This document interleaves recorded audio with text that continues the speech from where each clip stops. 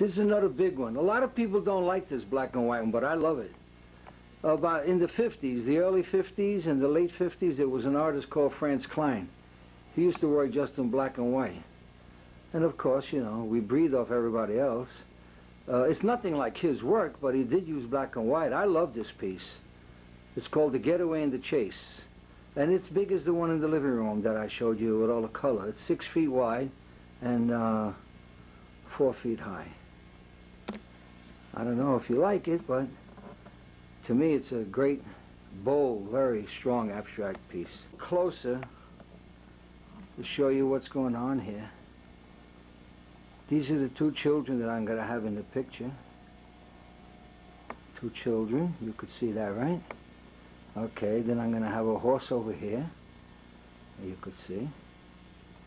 Then I'm going to have another horse over here. And the stairs, uh, they start here, the stairs. They go there, then they go up. They go there, and they go up, and then there's a set of stairs here. And that's it. And I did one of the children. I didn't do them all yet. That's the first one, you know. Then I get the second guy in. Maybe tomorrow I'll put the second guy in. And this piece here, I don't know what I'm going to do, but it's going to be nice. It's going to be something floating right down there, you know. I don't know what color, but uh, the horses are going to be brown. And all the balls are going to be all different colors. You know, all the planets around the children are going to be all different colors. And uh, I don't know what I'm going to do with this part yet. I don't know if I should put reaching the center into that circle. People might not understand what I'm trying to say, or just make it one big ball, you know. But we'll, when I get to that, I'll think about it. Right now, this is what I got done. I figure I got another month.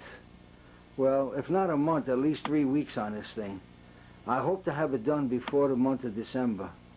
This way I could bring it there, and uh, she could have it for Christmas. But anyway, that's it, Frankie. It's a big sucker, ain't it? Mm. That floor took me forever to do. But that's the business. You want to do good work, that's it. I hope I don't drop dead before I can make uh, four or five more big ones like this. The big stuff's my best work, there's no question about it. Anyway, hope you enjoy it. Let me know when you get it, how you like it. Take care.